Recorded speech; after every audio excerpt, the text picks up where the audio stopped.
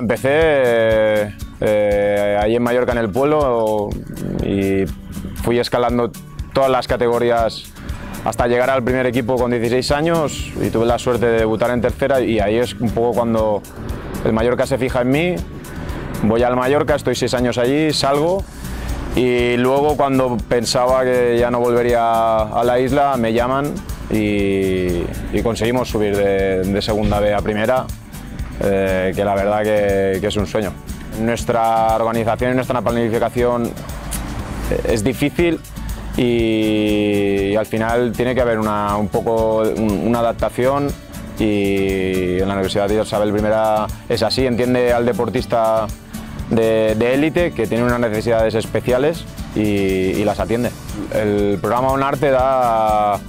eh, te da esa ventaja que al no poder planificar muchas veces, porque la competición marca muchas veces los horarios y los días y un poco el tema de hacer los exámenes, cambiar la sede, eh, cambiar los días, te da la facilidad para, poder eh, superar las pruebas y,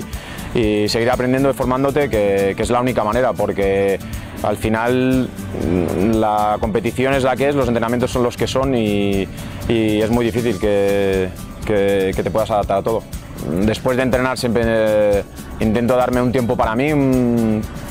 cada día de, hacer algo y luego sí es verdad que en las concentraciones aprovecho bastante eh, con los viajes, cuando vamos a los hoteles, estamos fuera, pues es una opción buenísima para,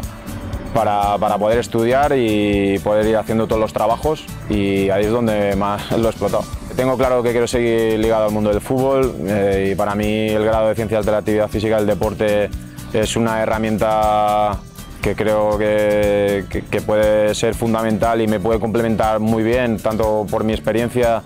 como en este caso con formación y, seguir formándome y seguir aprovechando un poco eh, todo este tipo de formación que a nosotros nos viene muy bien.